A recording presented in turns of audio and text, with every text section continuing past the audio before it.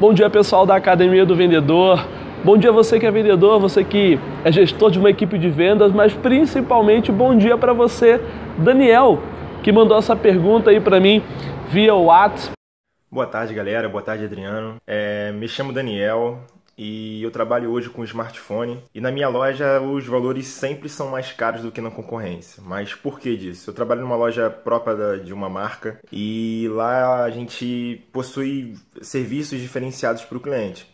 Lá eu ofereço uma configuração, o cliente sai da loja com o aparelho já configurado, eu dou treinamento sobre o produto, explico sobre aplicativos nativos do aparelho, funcionalidades que às vezes ele não utilizaria, é, se ele comprasse em outros lugares. Eu falo sobre o pós-venda, que a hora que ele quiser ele pode vir na loja que eu vou estar tá ajudando ele a configurar, a atualizar o produto dele também. Então, assim, por esses diferenciais, o meu preço acaba sendo um pouco mais caro do que na concorrência. A concorrência tem valores de 100, 200, 300 reais mais baixos. Sendo que muito cliente, mesmo falando isso, eles acabam não dando muito valor, porque na hora ele quer preço e acha que isso não vai ser importante para ele. Então, eu acabo perdendo muita venda. Eu, atendo, eu vendo muitos, muitos aparelhos por dia, sendo que ao mesmo tempo que eu vendo muito, eu perco muitos por conta disso, por conta de preço que o cliente não entende essa, essa, diferen essa diferença de que está nos serviços oferecidos. queria saber é, qual seria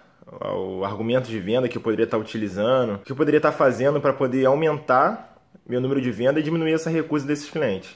Então vamos lá, existem provavelmente várias estratégias que você pode utilizar. E se a gente ficasse aqui nesse vídeo de 3 horas com mais umas 10 pessoas juntos, provavelmente surgiriam muitas e muitas outras ideias. Mas eu pensei numa estratégia que eu quero compartilhar com você e de repente pode ser uma estratégia bacana para você colocar em prática. E é uma estratégia que nós utilizamos muito no marketing digital. E de repente você possa importar essa estratégia do marketing digital e levar ela para a tua loja.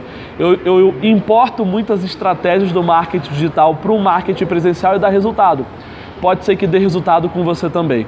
Que estratégia é essa? Uma vez que você tem vários clientes que já compram com você na tua loja, uma vez que você tem vários clientes que percebem valor nesses benefícios que você tem para justificar um preço mais alto, e uma vez que você tem clientes que não percebem ou que você ainda não entende por que eles não compram, por que não utilizar essa própria inteligência de mercado dos seus clientes que compram para convencer os seus clientes que não compram.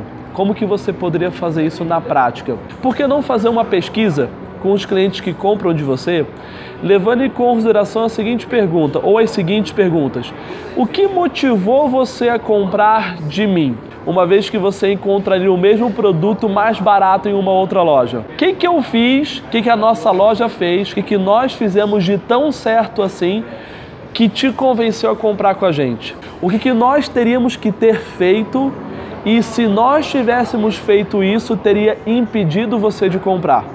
Entendeu? Assim como eu preciso saber o que, eu estou fazendo de certo, é muito importante eu saber o que, que eu estou fazendo de errado ou o que eu teria feito de errado para não motivar essa compra. Próxima pergunta: se você pudesse citar três exemplos práticos do que você viveu aqui, da tua experiência aqui dentro que te convenceu a comprar, que experiências seriam essas? O que, que nós falamos de certo que te motivou? O que, que nós teríamos que ter falado de errado para não te motivar?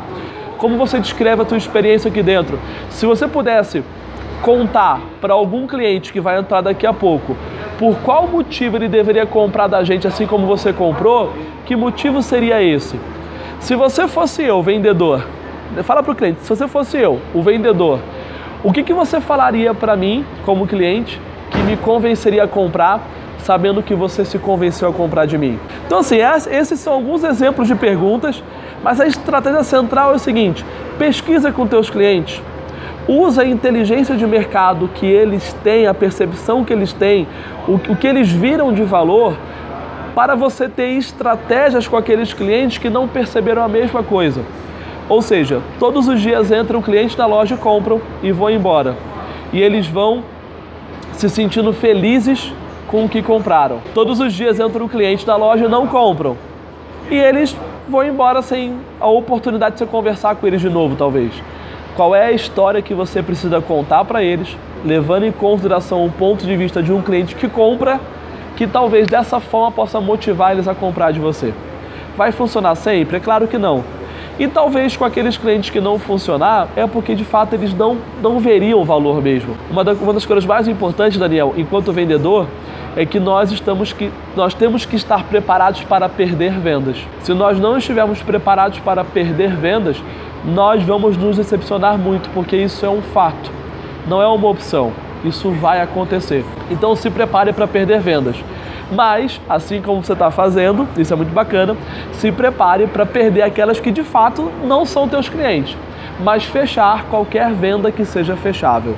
Então, voltando, faça uma pesquisa com teus clientes, faça uma entrevista com eles, pergunte o que, que motivou você a comprar com a gente e que talvez, se tivesse sido diferente, você não teria comprado. O que, que eu posso usar que eu usei com você, com um cliente que entrar daqui a pouco e isso pode motivar ele a comprar, assim como motivou você, ok?